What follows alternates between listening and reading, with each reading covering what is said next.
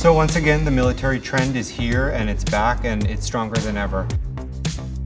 This season, it almost goes more into an equestrian vibe. It has a more sophisticated chic look than what we've seen in the past few seasons. You're gonna wanna incorporate things from your own style. It doesn't have to be camouflage. You can find beautiful coats and other pieces for your wardrobe in military colors like khaki or olive green. You might wanna mix it with a equestrian boot with a military vibe. If you wanna be sexy or feminine, you can find something with a military feel that has a high heel or is a taller boot.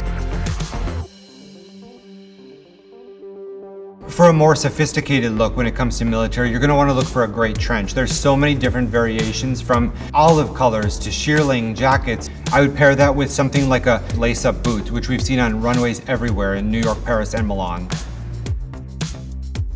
Are you armed and ready for fall? The military trend is back.